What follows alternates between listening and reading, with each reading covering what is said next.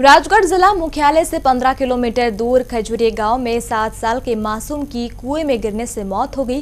मृतक मासूम अपने पिता के साथ खेत गया हुआ था। इस दौरान किसान अपनी सोयाबीन निकाल रहा था, तभी खेलते हुए मासूम बच्चा पर 45 फीट गहरे कुएँ में गिर गया। जैसे ही घटना की जानकारी पिता को लगी, उसने इसकी सूचना ग्रामीणों और पुलिस को दी। घटना के बाद गाँव में मातम पसरा हुआ है।